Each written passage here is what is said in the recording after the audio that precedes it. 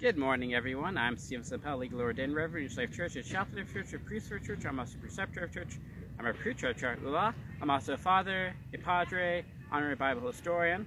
I'm, of course, a uh, ordained minister with uh, Universal Ministries. I have an honorary doctorate in ministry, metaphysics, divinity, humanitarianism. And of course, a stated ministry.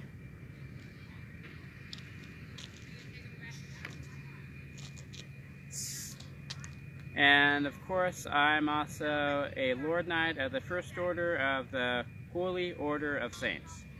Now that I got that out of the way, let's begin this January 19th uh, live streamed uh, Street Preach sermon. So I'm going to open this up with a reading from Sacraments. A reading from the Holy Gospel according to Luke, Luke chapter 7, verses 19 through 23.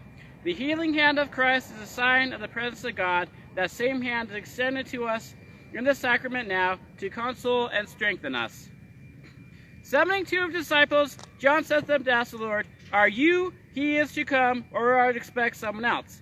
When the man came to him, they said, John the Baptizer sends us to you with this question, Are you he is to come, or do we look for someone else? At the time, he was curing many of their diseases, afflictions, and evil spirits, had also restored sight to many who were blind.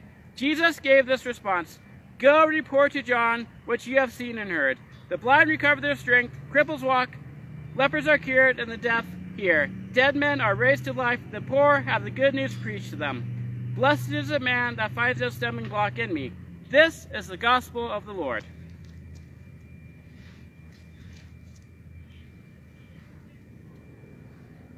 So I'm going to continue opening this with a couple of prayers.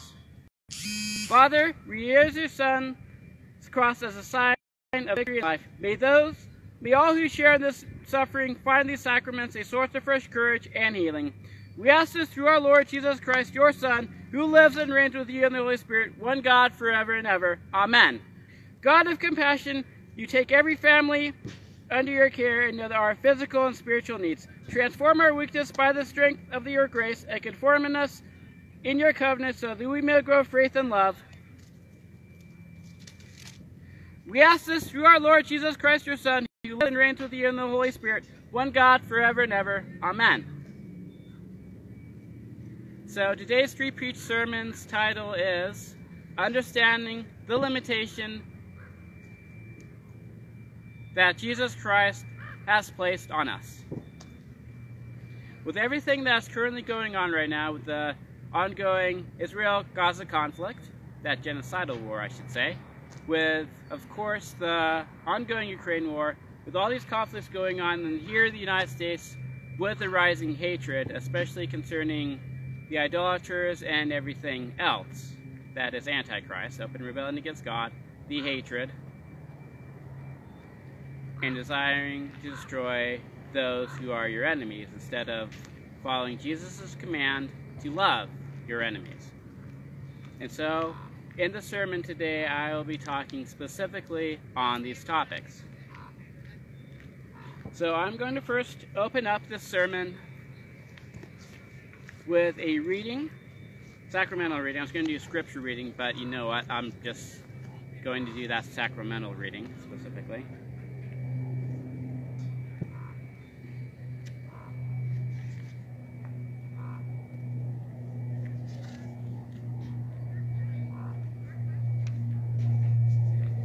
God is our refuge. And this is from uh, Psalm 46, verses 1 through 3, 7, and 10 through 11. God is our refuge and strength, a very present help in trouble.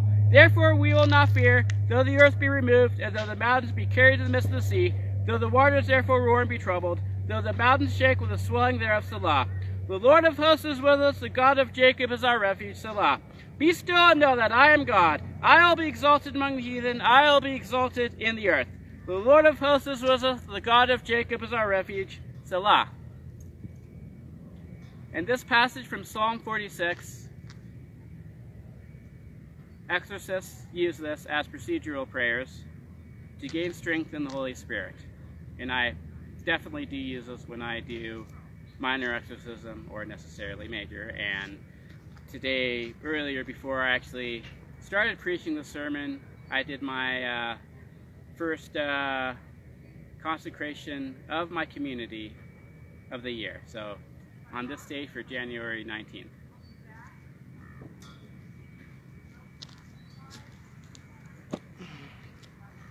And so with Psalm 46, again, the psalmist uh, states that God is going to be, be with you throughout anything and any conceivable thing that you would go through. That God is more powerful than the earth. God is more powerful than anything, the tsunamis and earthquakes, than every natural disaster or any disaster that could encompass and ensnare you. God is your refuge. Go to God when you need deliverance, and God will protect you. God will safeguard you. God will deliver you. You are His child. God loves you very, very, very much. And again, as previously stated, I, as a legally ordained reverend, I, as a young priest that I am, I, as one of the few exorcists in my rural community, I state for a fact that I rely on God's holy gift, that of God's Holy Spirit, specifically. I have to rely on God's Holy Spirit. I have to totally rely on Him. I have no power on my own, no ability on my own. I have to trust God when I'm put in situations that most humans should never be put into, I might add, and have to deal with things that other humans should in the safeguarding of human life. Be it through dealing with a suicide location or specifically the entity contained therein thereof that gives that compulsion for people to commit suicide in that location in my town. And having to go there and banish that entity or whatever, that spirit of murder specifically. And I have to deal with that every once in a while, certainly.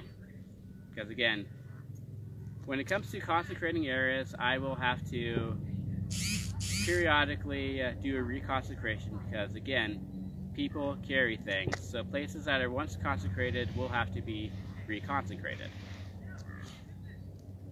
And then oppressive spirits will have to be pushed out.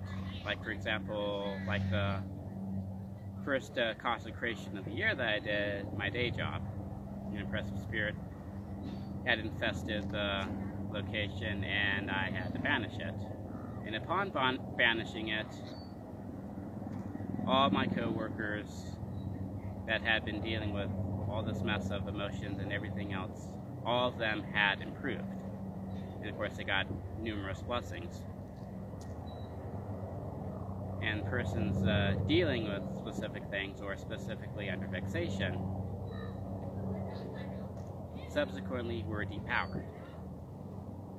Again, the exorcist has no power on their own of their own. It is a true reliance on God. To have empowerment, have discernment, and to banish things. So, continuing the sermon. And I'm going to be taking a reading of Luke chapter 16.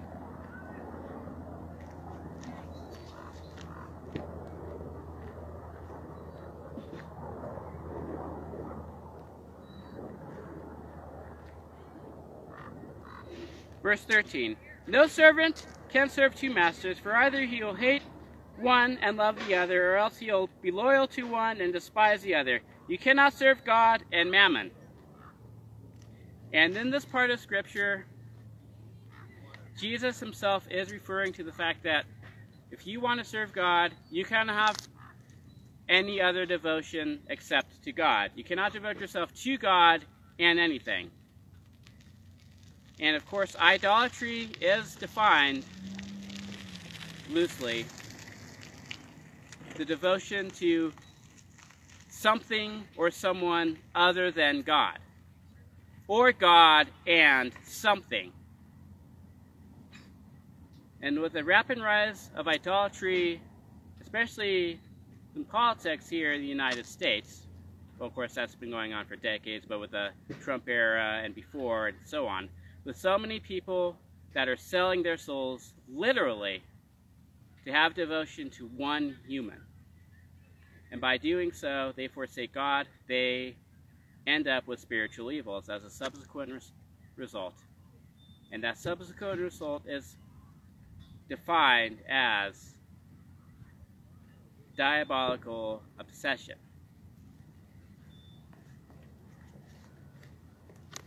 And so before I get a little bit further into that, I will actually have that definition for you.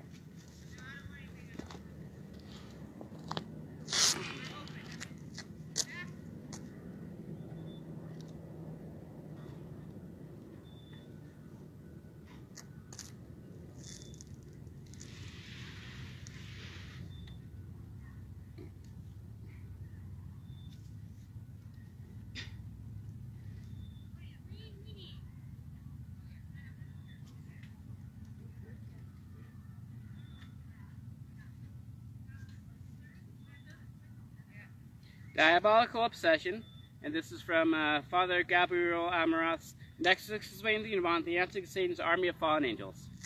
Diabolical obsession. Diabolical obsessions are disturbances of extreme strong hallucinations that the demon imposes, often invisibly, on the mind of the victim. In these cases, a person is no longer master of his own thoughts. Rather, he is subjected to a powerful force that creates mental activity in him that is repetitive, obsessive, and irresistible. So when it comes to idolatry, again, idolatry is loosely defined as devotion to someone or something other than God, or someone and something other than God, or God and something or God and someone. So the, obsess the obsession of people for their Messiah figures, so Trump supporters with Trump, of course, so with Biden supporters with Biden. And yes, I'm going to throw both those names there. This is idolatry, pure and simple. And so no wonder they are no wonder they are so those who are consumed, dominated by the spirit of hatred, the type of demonic spirit that gives temptation, demonic suggestion to harm and kill others. And so these supporters of these those political figures, they're messiahs, they're well, false messiahs for that matter. They're obsessed with them, and they will follow their commands to do harm and kill in their name. And as we've seen, as we get to testify, and as we witness to them, of course, the January 6th insurrection, and of course everything else that they will continuously do in support of their Messiah. They are hellbound for selling their soul but it is not too late to pray for them that God heal their hearts, minds, bodies, souls, that they repent and that they atone. It, do your part to save their souls. And it's absolutely necessarily if they are if you have a Trump supporter that is your relative, make certain that they get the help that they desperately need, the mental health help and the spiritual help, so they may have to be given major exorcism to dispel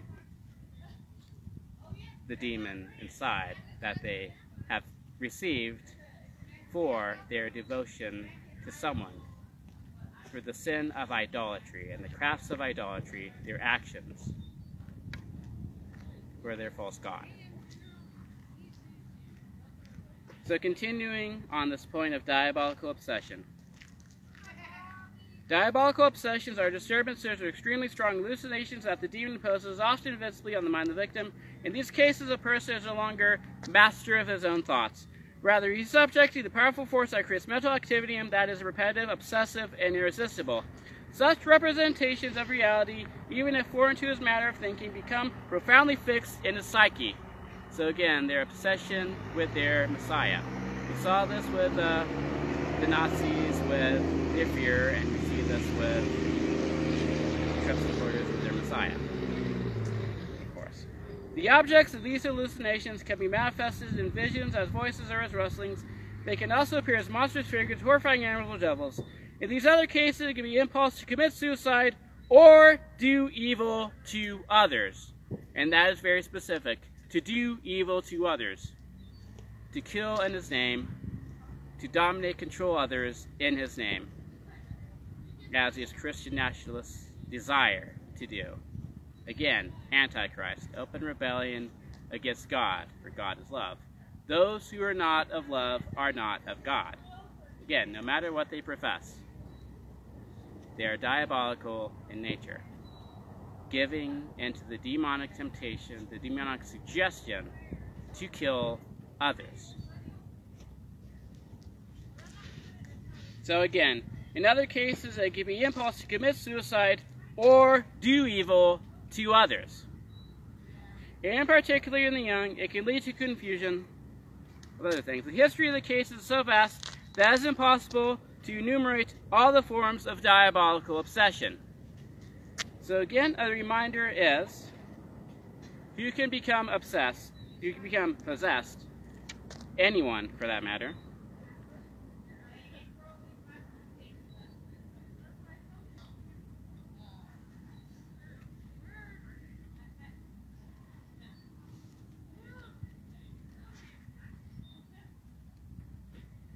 Who becomes obsessed? People of every faith and none. The devil does not look at the face of anyone. No one can consider themselves excluded. They can be young or old, believers or atheists, Christians or those of other religions.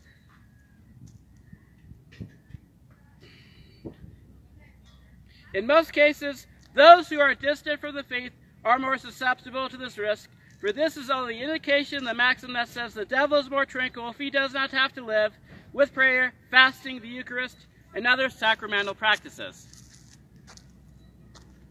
I will also add that the demon does not particularly like to exercise extraordinary action. He prefers by far to act through temptation. In the first case, the external manifestation clearly unmasks his existence. In the second, hiding himself behind ignorance and slight faith. He can act more easily because he is undisturbed. The devil is content when no one believes in his existence or when people consider him solely a medieval relic then he can truly act tranquilly.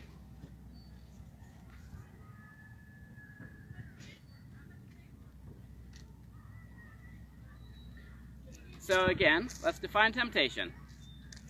Satan's mission is well explained by the Apostle Peter. Your adversary, the devil, prowls like a roaring lion, seeking whom he want, seeking one to devour. 1 Peter chapter 5, verse 8. We can interpret that the devouring as doing harm, bringing perdition. The devil's mission in the world is to seduce souls, leading each man and woman on the wayward path of sin. The principal path of this tragic mission is a path to temptation. Each one of us must fight against temptation to sin and for as long as we live. Indeed, sin leads to death. It should surprise, not surprise anyone. I shall speak plainly as I say, there's more victims of Satan's ordinary temptation action than his extraordinary action. We are all victims of temptation, but only some are victims of the extraordinary action of Satan, but never through their own fault. Therefore, they are not morally responsible. Temptation assaults us each holy day. Jesus himself submitted temptation during the 40 days he spent in the desert after his baptism in the Jordan. See Matthew chapter 4, verses 1 through 11, also later on. The devil tempts us both in our natural dimension, that is, in our interior wounds and weaknesses, and through the various occasions of sin that that present themselves. Temptation is dangerous because it is difficult to uncover the full of our thoughts, words, works, and missions. Discernment is necessary, that is, we must have a well-trained eye, and the spiritual intelligence helps us to recognize the call of the tempter, and those who bring us straight to sin, we must reject them, and instead accept the good inspirations that come from God. Therefore, it is necessary to guard our heart and our external senses from indecent spectacles. Each of us becomes what we see, what we listen to, and what we read. Therefore, let us be discerning what we see, what we listen to, and above all, let us choose good friends. It is also necessary to have a well-formed conscience. A good conscience is not achieved by elevating oneself, or worse yet, allowing the dominant culture to arbitrate good and bad. A good conscience is attained by comforting one's will to God's will, and to his teachings, which are given us for our happiness, our salvation, or summarized highest degree in the commandments. The loss of a sense of sin that characterizes our helps Satan act nearly undisturbed and inducing man to sin takes man progressively away from the love of God. Everything is lawful. What is wrong there? Everyone does it. These are suggestions that weaken the consciousness of men and women, lead them on the path towards closing hearts, egoism, lack of forgiveness, and doing everything for money, power, and sex. Everything that seduces and enslaves souls leads to their death, which is Satan's objective. The ordinary temptations of the devil are played mainly in the area of intelligence. Let us think of the many theolo- theoretical errors that are passed off as modern ideas in order to hinge the principles of the faith, as in all the new lifestyles that are contrary to morality. Not to speak of corruption, wars, egoism, and all this innumerable forms. The list is truly long. What is the cause of this moral decline? Principally, the dominion of the Christian conscience struggle against the powers of darkness, where St. Paul who warned us, for we are not contending against the flesh and blood, but against the principalities, against the powers, against the world rulers of the present darkness, against the spiritual hosts of wickedness in heavenly realms. And this is Ephesians 6.12. Here's how the Vatican II frames the situation. With the orders of values jumbled, the bad is mixed with the good, individuals and groups pay heed solely to their own interests and not to those of others. Thus it happens that the world ceases to be a place of true brotherhood. In our own day, the magnified power of humanity threatens to destroy the race itself. For the mighty now struggle against the powers of darkness pervades the whole history of man. The battle is joined through the very origin of the world and will continue to last day as the Lord has attested. Caught in this conflict, man is obligated to wrestle constantly clinging to what is good, nor can he achieve his own integrity without great efforts and the help of God's grace. And this is the reality that we live in. Again, your culture will teach you many, many things, and many terrible things at that. So the fixed belief systems that you're superior to others in one type of way, that those who do not uh, follow your culture, for example, are inferior in some type of way. Again, the bad is mixed with the good. And this is the cause of the moral decline. When people open themselves up to the lack of love, when people start loving themselves, loving others, specifically, again, when people stop loving others and believe they do not have to love others, this is the spiritual corruption, this is spiritual enthrallment. Because that is open rebellion against God. Again, sin is the define of harming others, so Romans chapter 13, verse 10. So again, the harming of others, and I might as well actually just pick up my Bible and read that.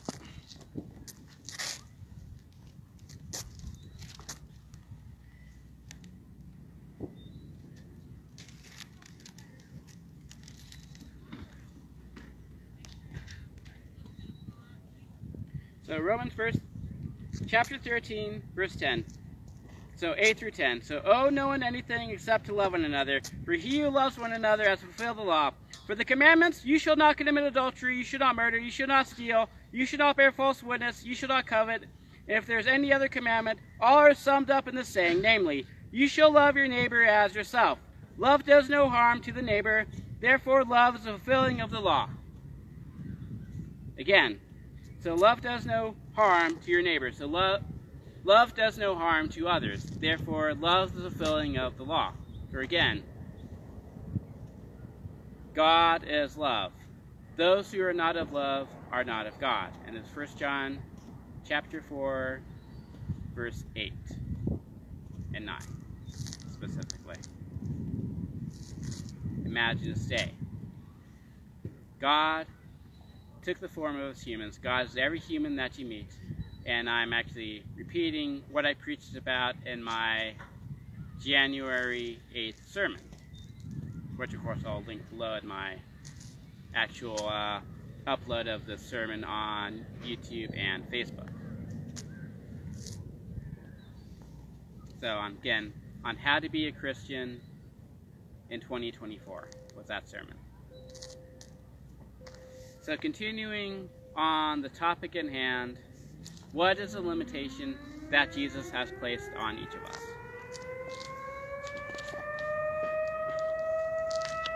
And I'm actually going to, so...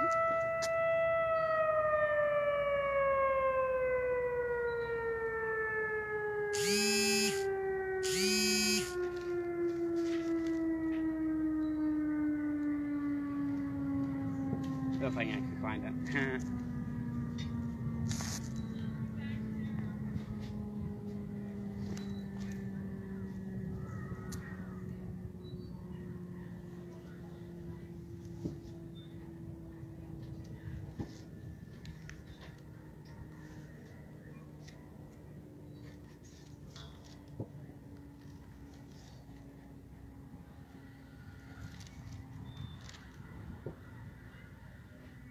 Okay, Dietrich Bonhoeffer's uh, class exploration of Christian community, so pages 30 through 37.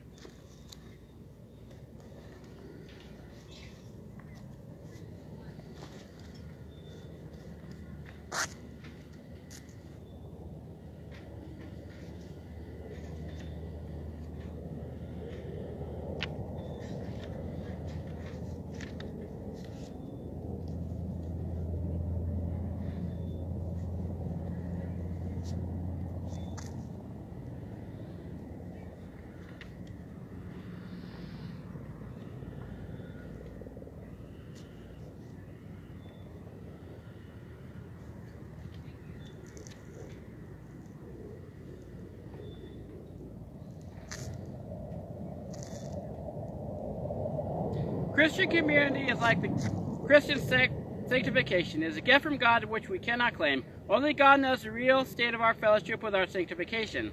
What may not appear weak and trifling in us may be great and glorious to God. Just as a Christian should not constantly feeling a spiritual pulse, so too the Christian community is not to be given to us by God for us to be constantly taking its temperature. The more thankfully we daily receive what is given to us, the more surely and steadily will fellowship increase and grow from day to day as God pleases. Christian brotherhood is not an idea which must be realized. It is rather a reality created by God in Christ to which we participate. The more clearly we learn to recognize that the ground and strength and promise of all our fellowship is in Christ Jesus alone, the more serenely shall we think of our fellowship and pray and hope for it. Because Christian community is founded solely on Jesus Christ, it is a spiritual, not a psychic reality. In this, it differs absolutely from all other communities. The scripture calls it pneumatic, spiritual, that which is created only by the Holy Spirit, who puts Jesus Christ into our hearts as Lord and Savior. The scriptures term psychic human, that which comes from the natural orders, powers, the capacities of the human spirit. The basis of all spirituality is the clear, manifest Word of God in Jesus Christ. The basis of all human reality is the dark, turbid urges and desires of the human mind. And this is again the reality. Our human nature is intrinsically evil. And without the Holy Spirit, we cannot overcome our human nature. Without the Holy Spirit that God gives us, we cannot overcome evil. So again, as I stated in my last sermon, those who do not exemplify the fruits of the Spirit and embody the, the fruits of the Spirit in their daily life. So Galatians chapter 5, so love, joy, peace, patience, kindness, goodness, faithfulness, gentleness, and self-control. Those who do not exemplify the fruits of the Holy Spirit in their daily lives do not have the Holy Spirit in them, and this I affirm as a legally ordained reverend. And again, I use this as a tool set in my when it comes to doing exorcism, for that matter, the spiritual path that I've been given, that spiritual correction.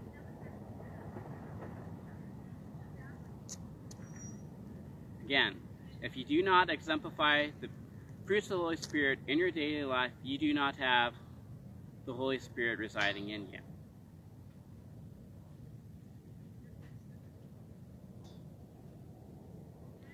The main reason why I teach on repentance because every single person can be changed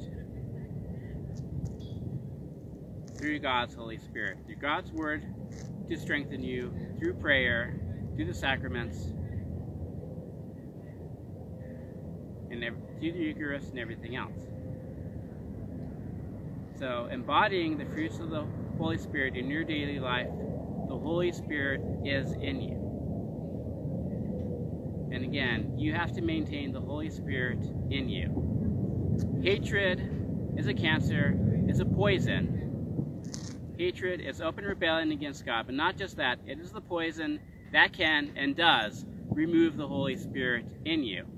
And this is, again, the spiritual corruption, the lack of love for others. When someone begins to not love others, that is the moment when the Holy Spirit is no longer in them. They can perhaps be a Christian as they do, but no matter what they profess, they do not have the Holy Spirit because of hatred. And of course, uh, and this I will state in actuality from uh, 1 John chapter 3, verses 14 through 15, and I'm actually going to go right to that in my Bible. That's the Plus, side about being a street preacher. carry my actual Bible, so when I reference something, I will go actually to that part of Scripture. So again, First John three,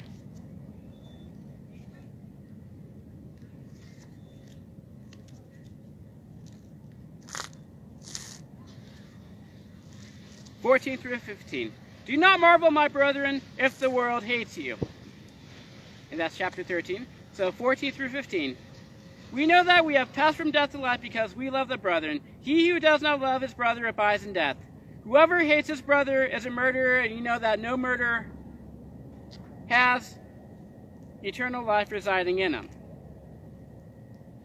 And this is St. John's statement in no uncertain terms if you have hatred for others in your hearts, the Holy Spirit is not in you, and you do not have eternal life. So those who are consumed, dominated by hatred, they specifically are defined as our enemies. And these are the ones we have to save.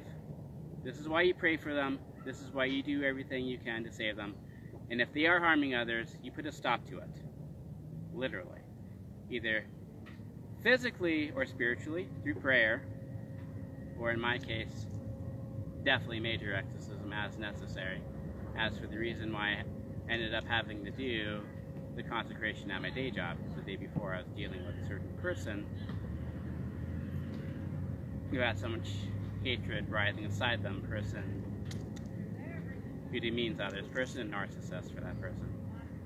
But of course, I didn't give that person warning as I normally typically would, but as the senior exorcist in charge of me knows of this person specifically, and knows their history and what I've related, but specifically, that individual in question, in this case, I didn't give the warnings I would normally would. Instead, I took out my major exorcism book, did some sacraments, and prayed for them for the rest of the day and evening. And the next day, of course, after I did that consecration, and for that week for that matter, they were completely empowered. So their ability to harm others was neutral, neutralized.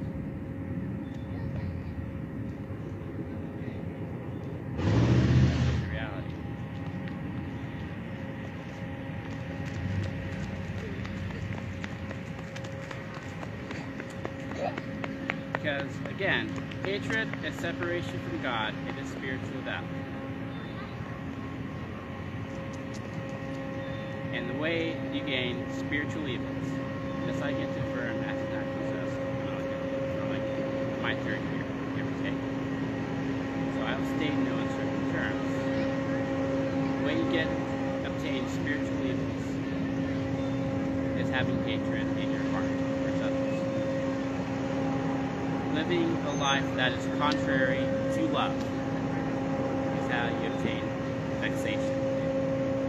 Living a life that is rebellion against God. This is how you get under vexation.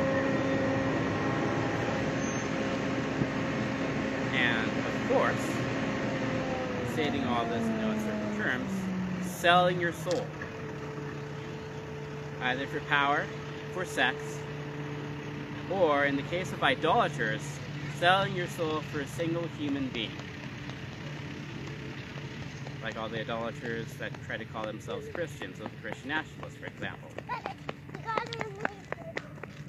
They sold their souls and they're under spiritual enthrallment. They sold their souls, they're under vexation. And my own ruling on dealing with them is pray for them, make certain that they get the spiritual help that they need, the mental health help that they desperately need, hold them to legal accountability when they harm others, and the church as necessary of course, a reason why there is excommunication. Excommunicate them until they repent change. The repentance is change. Once they change, make changes in life, and once they change, that's the point where they are welcome back in. That's the point where they are the body of Christ. And if they do not have the Holy Spirit, A, not going to heaven. B, because they do not have the Holy Spirit, something else gets in them, takes a claim, sets up shop, has residence in them. That entity, that spiritual entity, the demon, that is the thing that I have to target, especially in regards to safeguarding people. So I will say to no uncertain terms. The way you obtain spiritual evils is living a life contrary to love. You as a Christian have to save others. Your one mission on this earth, once you become a Christ, is to love others. Loving others is tending to the sick, tending to the wounded, tending to those who are suffering, helping those in need. Every single human is your brother and sister according to God's promise to Abraham to fulfill the coming of Jesus Christ our Lord.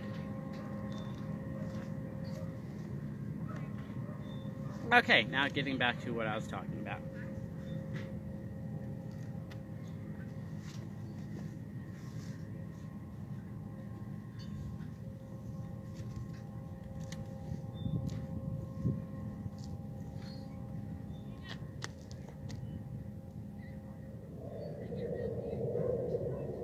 Okay, the base of all spiritual reality is a clear manifest word of God in Jesus Christ. The base of all human reality is a dark, turbid origin desires of the human mind. The base of the community of the Spirit is the truth. The base of the human community of the Spirit is desire. The essence of the community of the Spirit is the light, for the God is light, and in him is no darkness at all. 1 John chapter 1, verse 5. And if we speak in light, as he is in light, we have fellowship with one another. 1 John chapter 1, verse 7. The essence of the human community of spirit is darkness. For from within, out of the heart of men, proceed evil thoughts. Mark chapter 7, verse 21. It is a deep night that hovers over the source of all human action, even over all the noble and devout impulses. The community of the Spirit is a fellowship of those who, who are called by Christ. Human community of the Spirit is a fellowship of devout souls. In the community of the Spirit, there burns a bright love of brotherly service, agape, unconditional love. In human community of spirit, there glows the dark love of good and evil desire, eros. In the former, there is ordered brotherly service, in the latter, disordered desire for pleasure. In the former, humble subjection to the brother, in the latter, humble yet haughty subjection of a brother to one's own desire. In the community spirit, the word of God alone rules. In human community spirit, there rules, along with the word, the man who is furnished with exceptional powers, experience, and magical suggestive capacities. There God's word alone is binding. Here, besides the word, man binds others to themselves. there all power, honor, and dom dominion are surrendered to the Holy Spirit. Here spheres of power and influence of a personal nature are sought and cultivated. It is true, and so far that these devout men, that they do this with the intention of serving the highest and the best, but in actuality the result is to dethrone the Holy Spirit, to relegate him to remote unreality. In actuality, it is only the human that is operative here. In the spiritual, realm, the spirit governs in human community, psychological techniques and methods. Of the former naive, unpsychological, unmethodical helping love is extended towards one's brother. In the latter, psychological analysis and construction. In the one service of one's brother is simple and humble, and the other service consists in searching, calculating, and analysis of a stranger. Perhaps the contrast between spiritual and human reality can be made most clear in the following observation. Within the spiritual community, there is never, nor in any way, any immediate relationship with one another, whereas human community expresses a profound elemental human desire for community, for immediate contact with other human souls, just as in the flesh there is the urge for physical merger of the with other flesh. Such desire of the human soul seeks complete fusion of I and thou, where this is to occur in the union of love or in what is after the same thing, is forcing the other person into one's sphere of power and influence. Here is where the humanly strong person is in its element, securing himself the admiration, love, or the fear of the weak. Here, human ties, suggestions, and bonds are everything. And in the immediate community of souls, we have reflected the disordered image of everything that's originally and solely peculiar to community mediated through Christ. Thus, there is such a thing as human absorption. It appears in all the forms of conversion where the superior power of one person is consciously or unconsciously misused to influence profoundly and draw into the spell the other individual or whole community. Here, one soul operates directly upon another soul. The weak have been overcome by the strong. The resistance of the weak has been broken down under the influence of another person. He has been overpowered and not won over by the thing itself. This becomes evident as soon as the demand is made that he throw himself into the cause itself, independently of the person to whom he is bound, or possibly in opposition to this person. Here's where a humanly converted person breaks down and thus makes it evident that his conversion was effected not by the Holy Spirit, but by a man, and therefore has no stability. Likewise, there is human love to one's neighbor. Such passion is capable of religious sacrifices, often far surpasses genuine Christian love in a fervent devotion and vision results. It speaks the Christian language with overwhelming and stirring eloquence. But it is what Paul is speaking of when he says, Though thou I bestow all my goods to feed the poor, though thou I give my body to be burned. In other words, for thou I combine the utmost deeds of love with utmost devotion, and have no charity, that is, the love of Christ. It profit me nothing. 1 Corinthians 13, verse 3.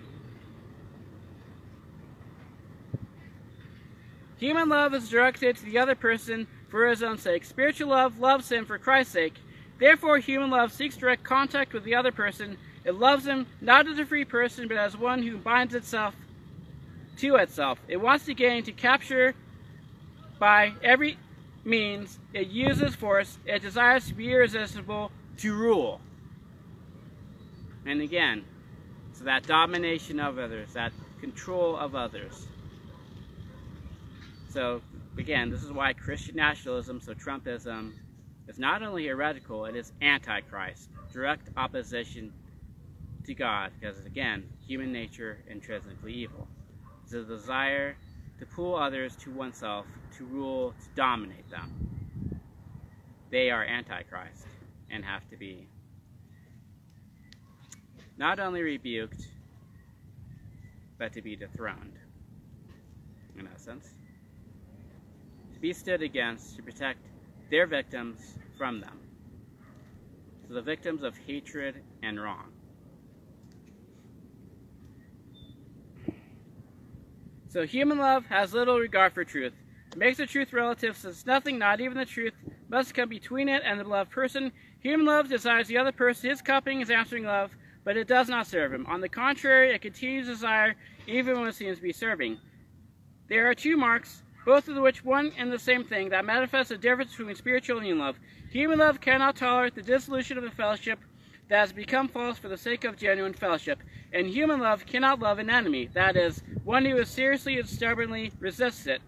Both spring from the same source, human love by its nature, desire, desire for human community. So long as it can satisfy the desire in some way, it will not give it up, even for the sake of the truth for even for the sake of genuine love for others. But where it can no longer accept its desire to be fulfilled, there it stops short, namely in the face of the enemy. There it turns to hatred, contempt, calumny. Right here is the point where spiritual love begins. This is why human love becomes personal hatred when it encounters genuine spiritual love, which does not desire but serves. Human love makes itself an end to itself. It creates for itself an idol, an end, which it worships. So again, going back to this worship of idols, so hero worship, ancestor worship, these are defined as idolatry, loosely, but theologically defined nevertheless. So hero worship, so Trumpism, Bidenism for that matter, Badism in general, that is idolatry, intrinsically evil as not of Christ, Antichrist. So again, human love makes itself an end of itself. It creates itself an end, an idol, which it worships, to which it must subject everything. It nurses and cultivates an ideal. It loves itself and nothing else in the world. Spiritual love, however, comes from Jesus Christ. It serves him alone and knows that it has no immediate access to other persons. Jesus Christ stands between the lover and the others he loves. I do not know in advance what love of others means on the basis of the general idea of love that grows out of my human desires. All of this may rather be hatred and an insidious kind of selfishness in the eyes of Christ.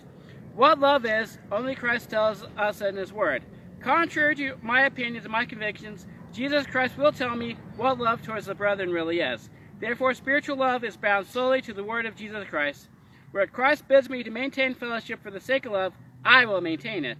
Whereas truth enjoins me to dissolve a fellowship for love's sake, there I will dissolve it, despite all the protests of my human love. Because spiritual love does not desire, but rather serves. It loves an enemy as a brother. It originates neither in the brother nor in the enemy, but in Christ and His Word. Human love can never understand spiritual love, for spiritual love is from above. It is something completely strange, new, and incomprehensible to all earthly love. Because Jesus stands between me and others, I dare not desire direct fellowship with them. It is only Christ can speak to me in such a way that I may be saved, so others too can be saved only by Christ himself. This means that I must release the other person from every attempt of mine to regulate, coerce, and dominate him with my love. The other person needs to retain his independence of me, to be loved for what he is. It is one for whom Christ became man, died, and rose again for whom Christ bought forgiveness of sin and eternal life. Because Christ has long since acted decisively for my brother, therefore I could be, begin to act. I must leave him in his freedom and be Christ. I must meet him only as a person and already in Christ's eyes. This is the meaning of the proposition that we can meet others only through the mediation of Christ.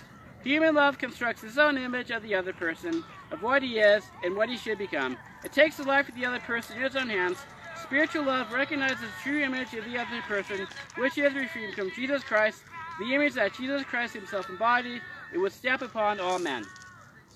Therefore, spiritual love proves itself in that everything it says and does commands Jesus Christ. It will not seek to move others by all too personal direct influence, by impure interference in the life of another. It will not take pleasure in pious human fervor and excitement. It would rather meet the other person with the clear word of God and be ready to leave him alone with this word for a long time, willing to release him again in order that Christ may deal with him. It will respect that the line has been drawn between him and us by Christ.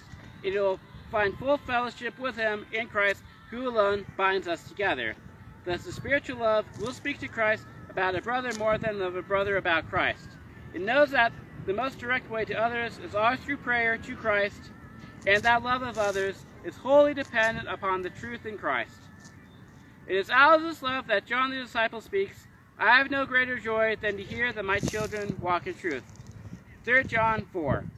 Human love lives by uncontrollable and uncontrollable dark desires. Spiritual love lives in the clear light of service ordered by the truth.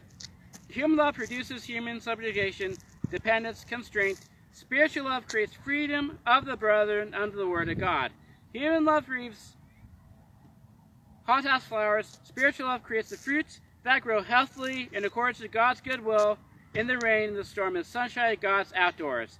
The existence of any Christian life together depends on whether it succeeds in the right time in bringing out the ability to distinguish between a human ideal and God's reality, between spiritual and human community. And I'll stop there, and this is from Dietrich Bonhoeffer's Life Together, the classic exploration of Christian community.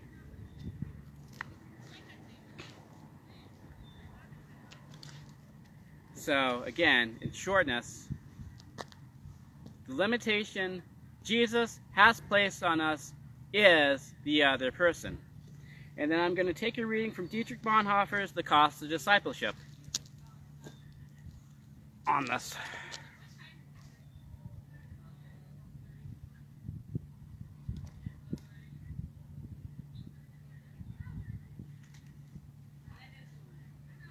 So, from Dietrich Bonhoeffer's Cost of Discipleship, Chapter 18, The Disciple and Unbelievers. Judge not that ye not be judged. For with what judgment ye judge, ye shall be judged, and with what measure ye meet, it shall be measured unto you. And what beholdest thou, the mote that is thy brother's eye, but considerest not the beam that is thine own eye? Or how wilt thou say to thy brother, Let me cast out the mote in thine eye, and lo, the beam is thine own eye? Thou hypocrite, cast out first the beam out of thine own eye, and then thou shalt see clearly to cast out the mote in thy brother's eye. Give not that which is holy unto the dogs, neither shall you shall cast pearls before swine, lest haply they trample them and feed and torn and render you. Ask and it shall be given you, seek and ye shall find, knock and it shall be opened unto you. For everyone that asketh receiveth, that he that seeketh findeth, and him that knocketh it shall be opened. Or what man is there of you, whom in his son shall ask him a loaf, will give him a stone? Or shall ask a fish, or give him a serpent? But if ye then, being evil, know how to give good gifts unto your children, how much more shall your Father, which is in heaven, give good gifts to them God ask of him? All things therefore ye, whatever ye should do, that men should do unto you, even so do ye also unto them. For that is the law and the prophets. Matthew chapter 7, verses 1 through 12.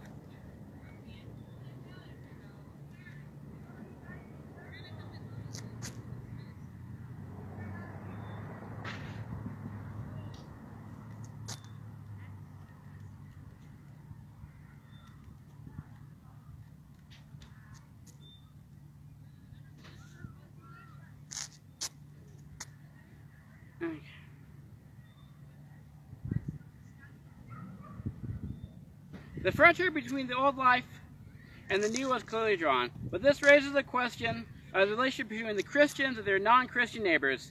Does their separation from the rest of society confer on them special rights and privileges? Do Christians enjoy powers, gifts, and standards of judgment which qualify them to exert a peculiar authority over others? How easily it would have been for the disciples to adopt a superior attitude, to pass unqualified condemnation on the rest of the world, and persuaded themselves that this was the will of God.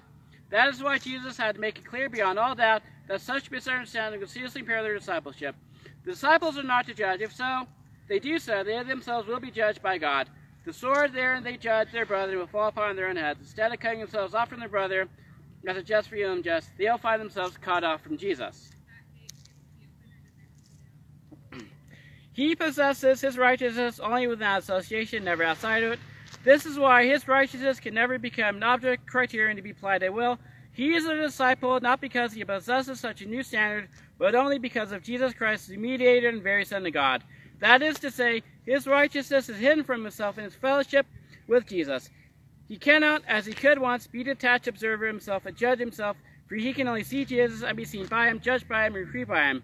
It is not an approved standard of righteous living that separates a follower of Christ from unbeliever, but it is Christ who stands between them. Christians always see other man as brother to whom Jesus Christ comes. They meet them only by going to them with other as free men, directly exchange their views and judging one another by objective criteria. And again,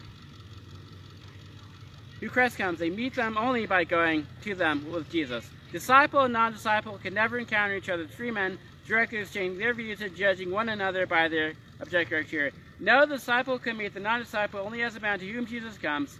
Here alone Christ for the soul of the unbeliever. His call, his love, his grace, and his judgment come into its own. Discipleship does not afford us a point of vantage from which to attack others. We come to them with an unconditional offer of fellowship, the single-mindedness of the love of Jesus. When we judge other people, we confront them in the spirit of detachment, observing and reflecting as it were from the outside. But love has neither time nor opportunity for this. If we love, we can never observe the other person again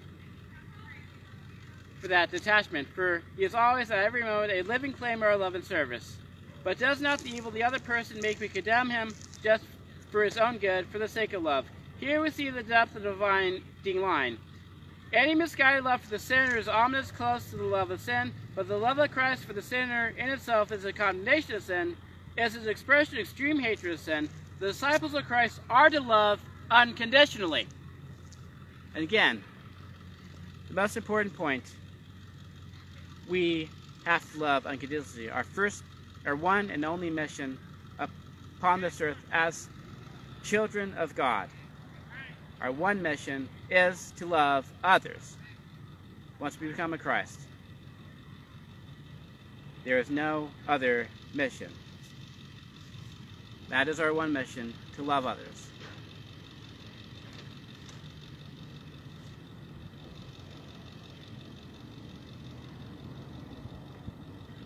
So the disciples of Christ are to love unconditionally. Thus they may affect what their un undivided and usually and conditionally offered love neither could achieve, namely the radical condemnation of sin. If the disciples make judgments of their own, they set up standards of good and evil. But Jesus Christ is not a standard which I can apply to others. He is judging myself, revealing my own virtues to me as something altogether evil. Thus I am not permitted to apply to the other person what does not apply to me. For in my judgment, according to good and evil, I only affirm the other person's evil, for he does exactly the same. For he does not know the hidden iniquity of the good, but seeks his justification in it. If I condemn his evil actions, I thereby confirm in him his apparently good actions, which are not yet never the good commended by Christ. Thus remove him from the judgment of Christ and subject to human judgment. But I bring God's judgment upon my own head, for I then do not live any more on and out of the grace of Jesus Christ, but out of my own knowledge of good and evil which I hold on to. To every one, God is the kind of God he believes in.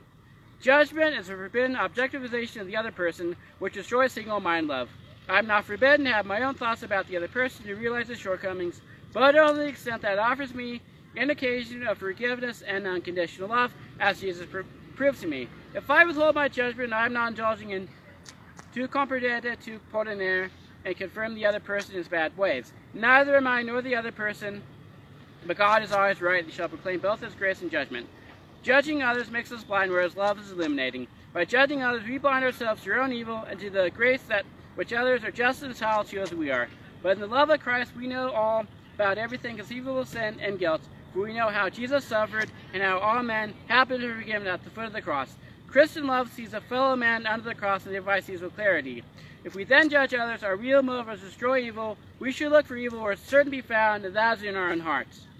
But if we are to look out for evil in the others, our real motive is obviously to justify ourselves. We are seeking to escape the punishment for our own sins by passing judgment on others, and are assuming by implication that the Word of God applies to ourselves in one way and the others in the another. All this is highly dangerous and misleading.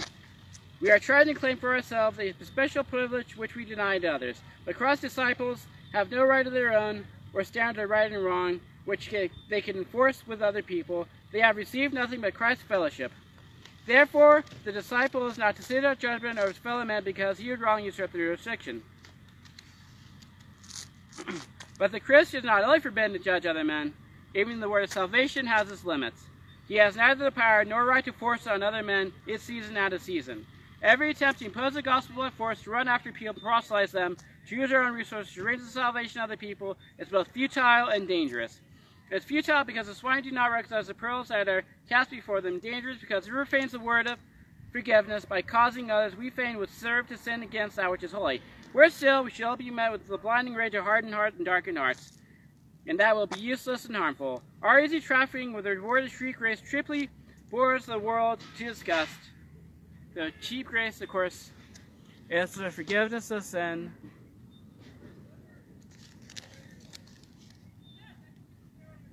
without the redemption of the person. So the forgiveness of the sin without the person changing. So the forgiveness of sin without the church discipline, again, cheap grace is damnation.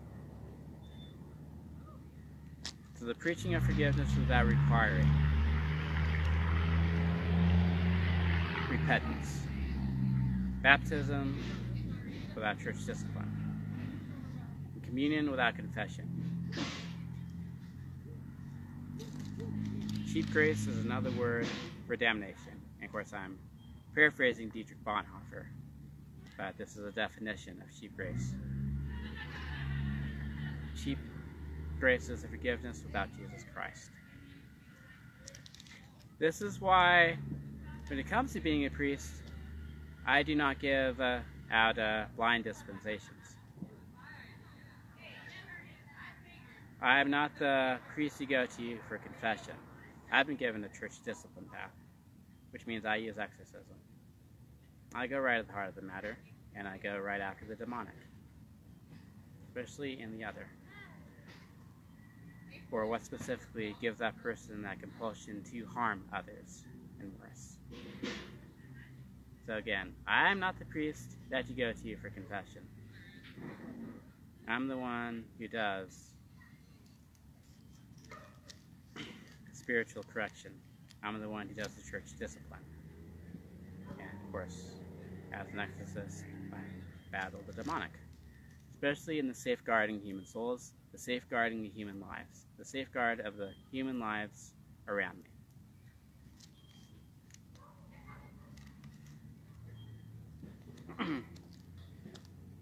so thus a strict limit is placed upon the activity of the disciples, just as Matthew chapter 10 they are told to shake the dust of their feet with the word of peace refuse healing, their restless energy which refuses to recognize any limit to their activity, the zeal which refuses to take note of resistance, spreads to confusion in the gospel of victorious ideology.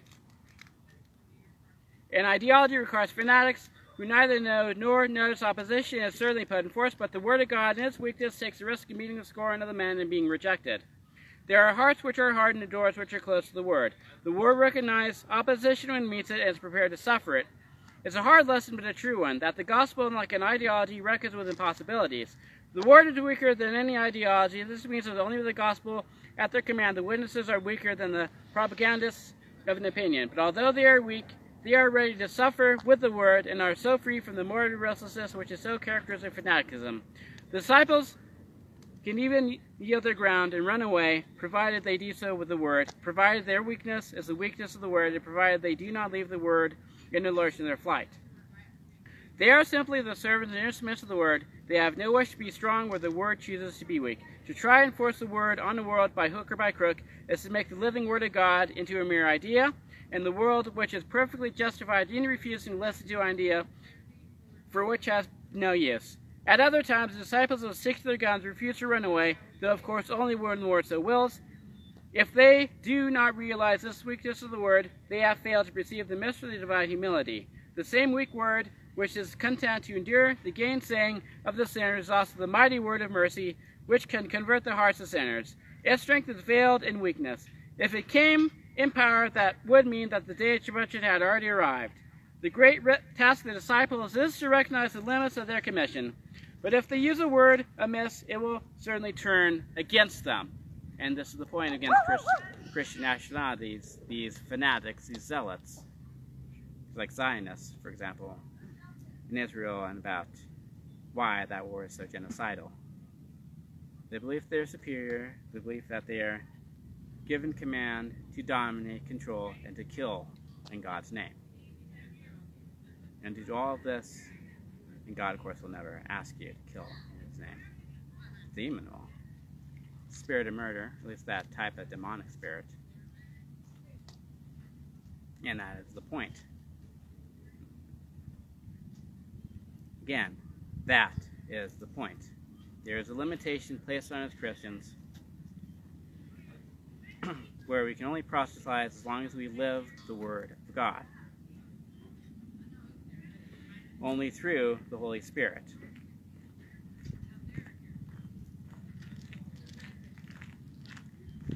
So if you proselytize, chase others with Bibles, but do not live the Word of God, again, as previously stated, if you do not have love for others, the Holy Spirit is not in you.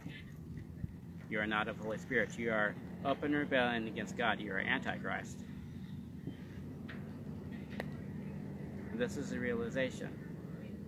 So many fallen Christians here in America, like 70%, are fallen because of their hatred of others and their belief that they can dominate, control others, and belief that God justifies their hatred.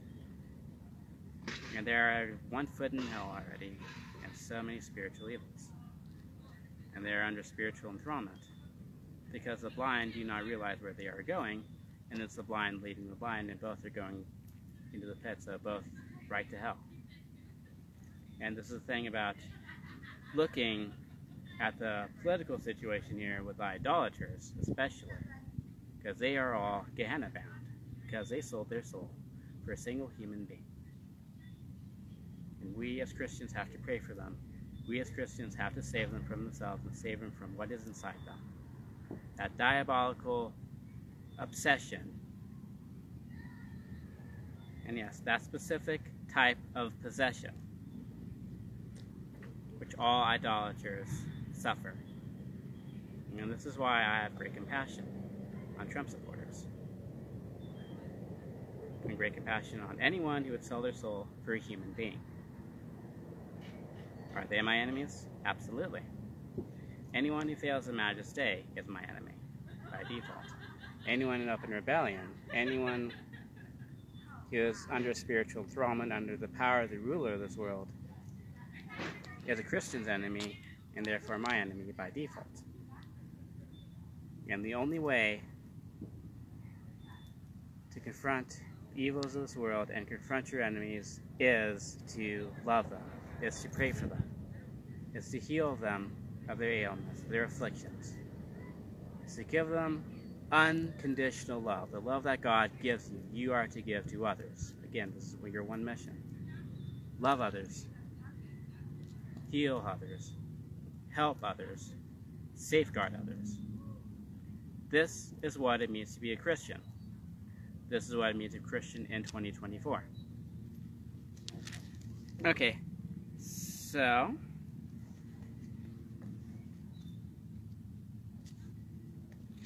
So, what are the disciples to do when they encounter opposition and cannot penetrate the hearts of men?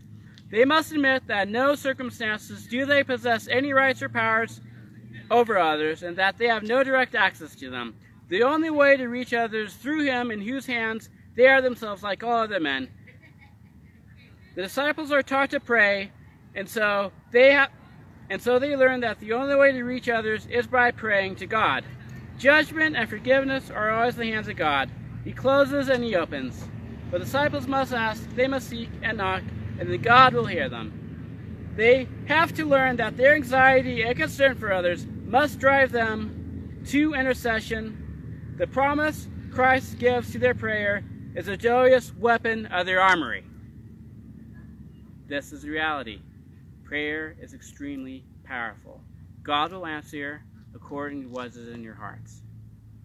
The main reason why I've been given this church discipline path, why I've been given the exorcist route, is to save others from what's been consumed and dominating them. To safeguard the lives and the souls of my community that I've been assigned.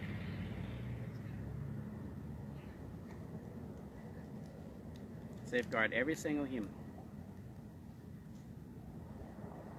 Again, this is why I have to rely on God's Holy Spirit. This is why I have to embody God's Holy Spirit. You, as a Christian, have to do all of this more, whether you are clergy like me or not. You have to safeguard others, you have to save others, you have to work through salvation through prayer above all else. Again, Disciples must ask, they must seek and knock, and then God will hear them. They have to learn that their anxiety and concern for others must drive them to intercession. The promise Christ gives to their prayer is the joyous weapon in their armory. The difference between disciples seeking. Okay, so.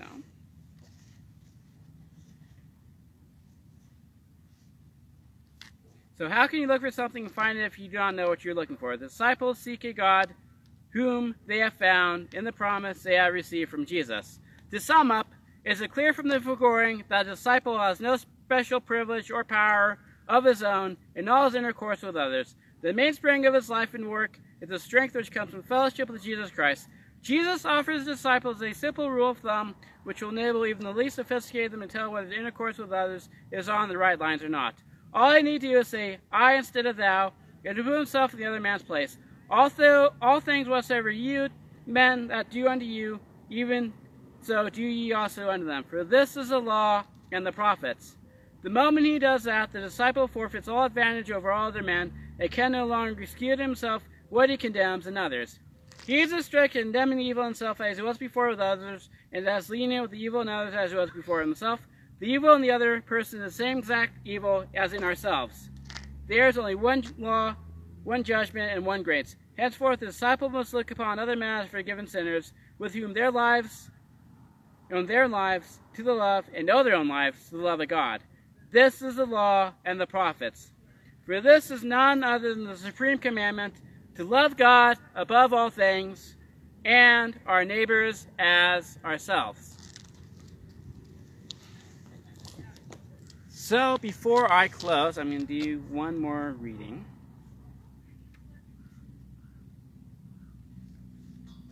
So again, so why does God permit evil? We've spoken, and this is Gort's reading from Gal- Father Gabriel Amorth, and Exorcist explains the demonic the Satan's army of fallen angels. We have spoken evil spells, possession, vexation, obsession, infestation. Now the question arises, why does God permit evil?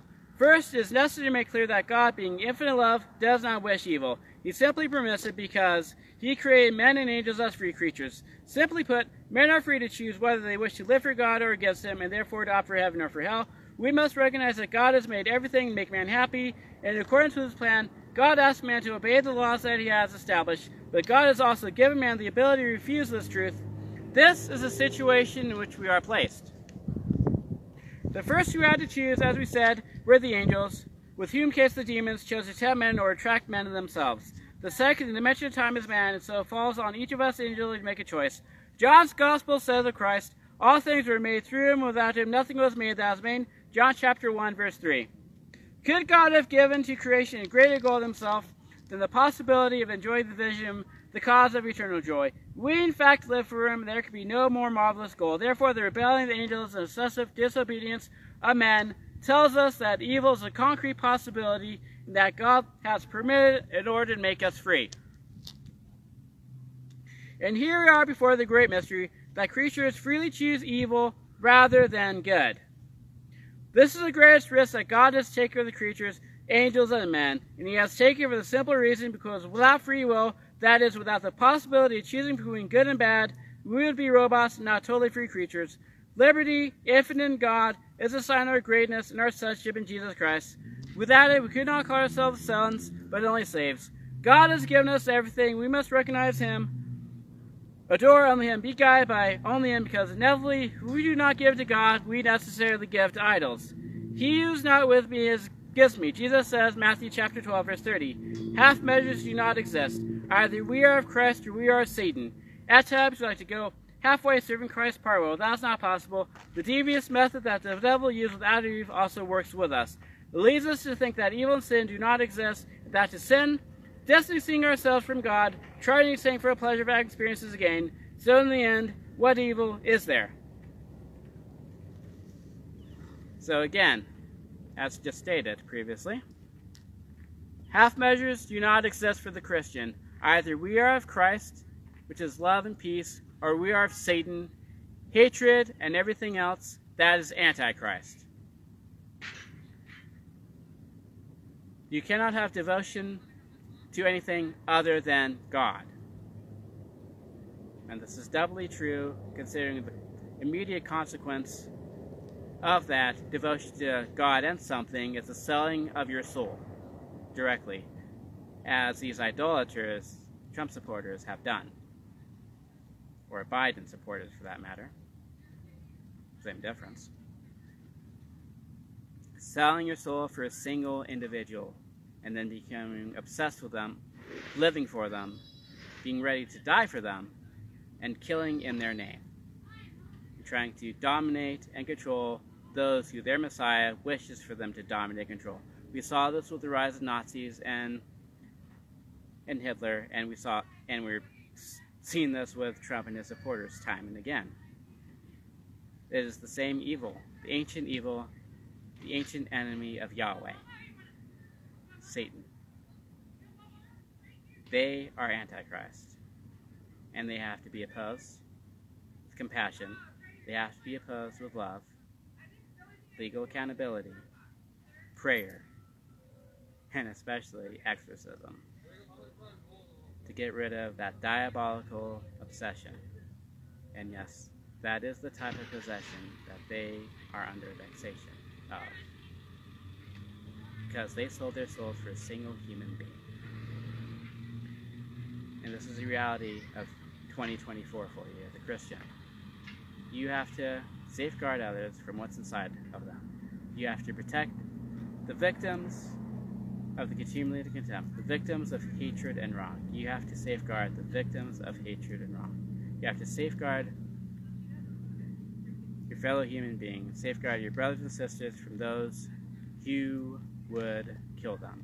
You have to safeguard them from those who try to dominate them. You have to safeguard others from those who are under Lucifer's enthrallment.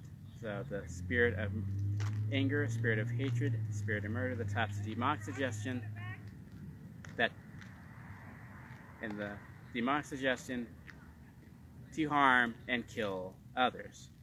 This is a spiritual reality you live in year 2024. So, anyways, let us pray. Dear Lord Heavenly Father, I come before you today. I come for you with a request that burns my heart. Father God, I pray right now with, with the, the world right now that you continue to involve yourself in the Ukraine war, and that especially in the Israel-Gaza war, that you do not let the genocide to continue. That you do directly interfere and bring the world, if necessary, against the state of Israel. We believe they can do all that they wish to those that they despise, to do all that they wish against their enemy, they do not follow your word, they do not follow your ways, they do not love their enemies, and they therefore are under the power of the ruler of this world. And this is why the genocide, the deaths, the, the fixed belief system that they are superior to their enemies and those around them, and that they can dominate and control. And we saw this for so many years, Father God. Of course, as a certified human rights consultant, and I teach previously in my past sermons on what human rights Israel has violated, has continued to violate in this war, Father God. God, that you interfere, intervene directly. You interfere and do not allow the atrocities to continue in either of these conflicts, Father God. That you safeguard everyone, Father God, especially in my community. That those whose hearts are stifled with hatred, Father God, that those who are dominated by the spirit of hatred, Father God, and anger in my community, that spirit of murder, that you neutralize the entities that have possessed them, Father God. That you neutralize, that you disable, that you depower them my community, especially the idolaters as necessary, especially when it comes down to later in this year, when they'll be given to that compulsive desire to harm and kill others and murder others, as is the case in the definition of diabolical obsession. That you, Father God, that you neutralize the entity that give power to those thoughts, that compulsion, Father God. That you safeguard the lives around me, Father God, these humans, these children of yours, Father God, that you safeguard, that you protect them, Father God. You protect my community, Father God. And that you protect, of course, my country, Father God. And you protect this world. In your name I pray this. And that you give peace to those who need peace, love to those who need love, healing to those who need, need healing, especially Father God. In this I pray. Amen. Anyways, everyone, stay safe and God bless.